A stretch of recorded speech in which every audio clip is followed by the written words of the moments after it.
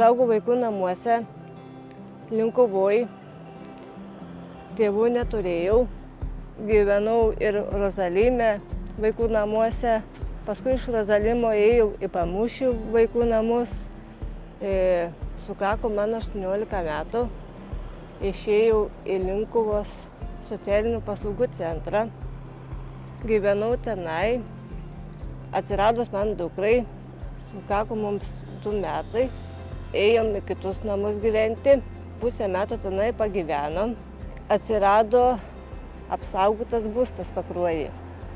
Tai savo įgūdžių kaip turiu, tai su galimybė patekau į apsaugotą būstą.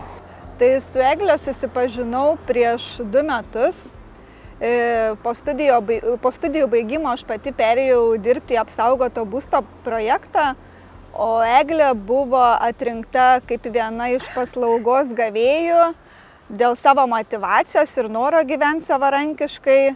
Apsaugoto būsto paslauga yra skirta psichosocialinę negalę turintiem asmenim. E, yra suteikiama gyvenamoji vieta. Tiek vat, mūsų mažoji lėja lanko vaikų darželį miesto, palaikom labai šiltus santykius su vaikų darželiu. Pati eglė lanko užimtumo veiklas kitose miesto socialinėse įstaigose. E, save kūryboje atradau iš tikrųjų kaip e, buvo karantinas. Mano pirmas piešinys buvo aguonas. Kūryba yra man labai šiltas toks atsipalaidavimas, susikaupimas.